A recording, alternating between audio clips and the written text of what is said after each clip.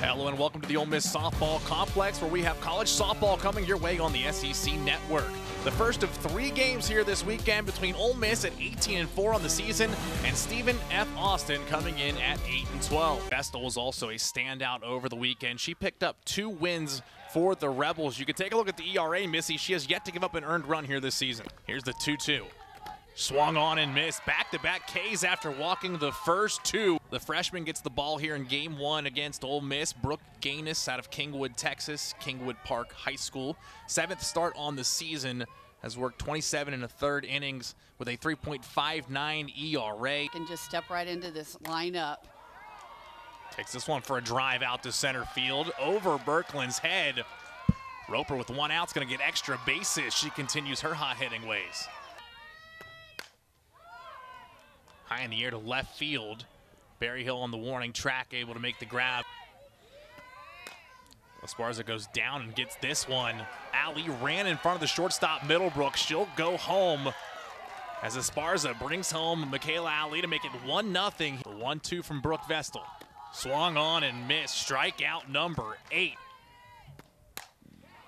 And powers this one to left field. Barry Hill gives up because DeLeon crushes a two-run shot to put Ole Miss up 3 0 here in the inning.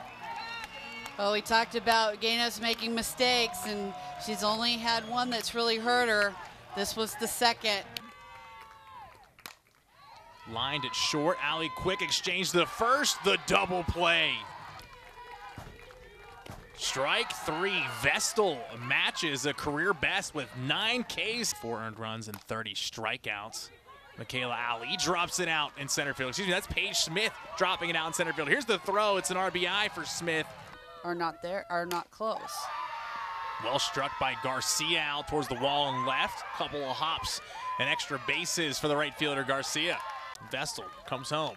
Swung on and missed. Take a bow, Brooke Vestal. Esparza lines one the other way, in and out of the glove of Garcia. Runners on second and third for the Rebels. How about the night from DeLeon? On the season, just six strikeouts. No walks here is Whitley, her first hit of the night, ripped right back up the middle. It's going to score two. Slow roller back to the circle. Misplayed by Hannibus. Everybody's going to be safe. Turned on by Latham. Here comes the throw home. Chance for two up the line at first, and they got her. Gaps one the other way this time. That'll bring two runs home for the Lady Jacks. Another double for Gabby Garcia. Getting rid of those walks and